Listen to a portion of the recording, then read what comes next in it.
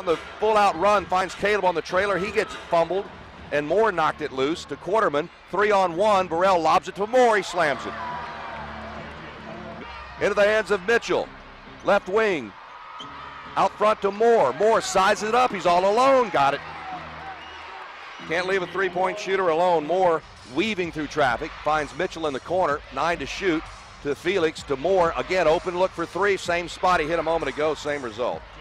Great find by the big man, and he, he, you know, he's good at getting those assists. He averages, and people don't see this a lot, but he averages. On it rattled around and came out. Mitchell has the rebound, his fifth.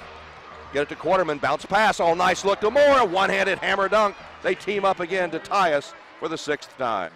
Here's Williams. Lob to Tarczewski. He can't get the dunk. He was undercut by eBay and Burrell. Burrell comes away with it, gets it up to Moore on the fast break, lays it in. That quickly the net score. Need at least that in this game. 4.06 to go, third quarter. Dallo up ahead to Quarterman. Here's Moore, left wing three. Long one, got it. Dallo. Dallo now drives. Oh, gives it no look pass. They get the extra two passes. Dallo, extra three passes. Moore on the left wing for three. Got it.